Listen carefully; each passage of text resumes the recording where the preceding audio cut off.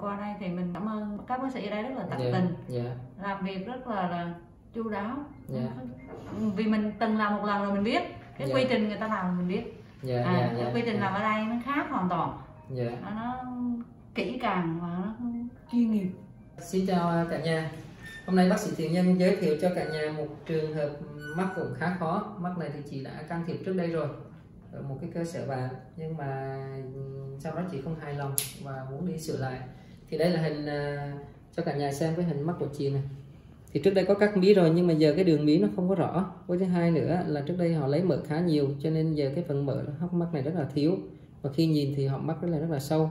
Còn cái phần treo nó rất là cao trên cái phần của xương hốc mắt á và mình nhìn thì cái mắt này thì rất là không tự nhiên, nó hõm rất là sâu mình cả nhà có thể xem một cái đoạn đây cái hệ video của chị lúc nhắm lúc mở này. Đó lúc nhắm này lúc mở này. Và có thể thấy rất là tự nhiên mình nhìn vào thì nó rất là khó, hơi khó chịu cho người đối diện khi nhìn đấy. Cho nên lý do chị muốn đi để chỉnh lại con mắt của mình để trở lại một mắt đẹp hơn nó hài hòa hơn. Và đây là sau ờ, hơn một tiếng phẫu thuật cái này mổ hơi lâu. Thì phải chỉnh lại rồi hai nữa là mình phải cái này là mình ghép mỡ còn cái trung bì. Thì ờ, đây là hình mắt của chị đó, sau khi mà chị nhắm nhắm nhẹ nhẹ mắt mở, rồi mở mở. Và nhìn cao lên tí xíu, đó đó, khuôn mắt thì giờ hai mắt mình là nó đã đầy rồi, cái phần này cũng đã đầy rồi. Phần này đầy rồi, không lại cái phần này nó treo rất là sâu này. đây này, con mắt phải nha cả nhà thấy nó treo rất là sâu, thì giờ nó đã đầy rồi. Bên này này, cũng treo sâu này, và cái đường mí cũng bị gãy cái góc đây này. Thì giờ đường mí đã bo tròn theo đường mí rồi. Lấy cho chị cái gương. Đó thì chị thấy thấy đó. giờ chị có thấy hài hài lòng về mắt mình chưa? Ngay sau mổ. Đương nhiên vẫn đang còn sưng chưa tự nhiên đúng không? Sau khi bắt đầu hết sưng mình mở lên mở xuống tự nhiên hơn thì sẽ đẹp hơn. Bây giờ chị thấy hài hài lòng về mắt mình chưa? Đó cái khuôn mắt là vẫn tròn này đều này.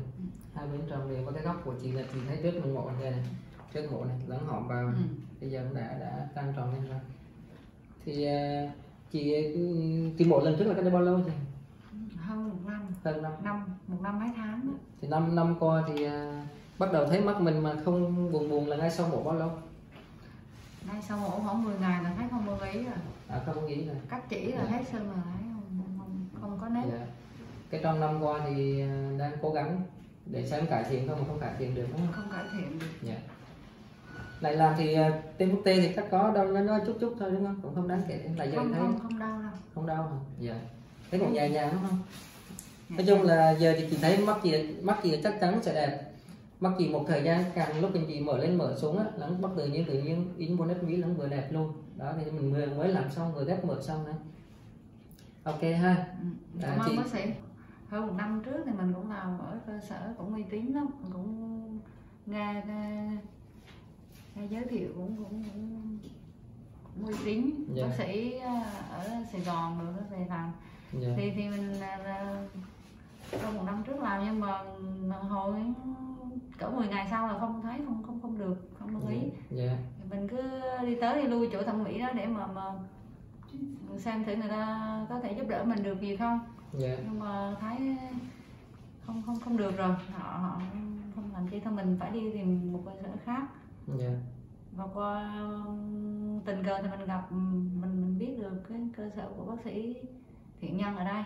Dạ cho nên là mình cũng cũng hên. Cho Dạ. nên là à, qua đây thì mình cảm ơn các bác sĩ. Bác sĩ các bác sĩ ở đây rất là tận dạ tình. dạ. Làm việc rất là là chu đáo.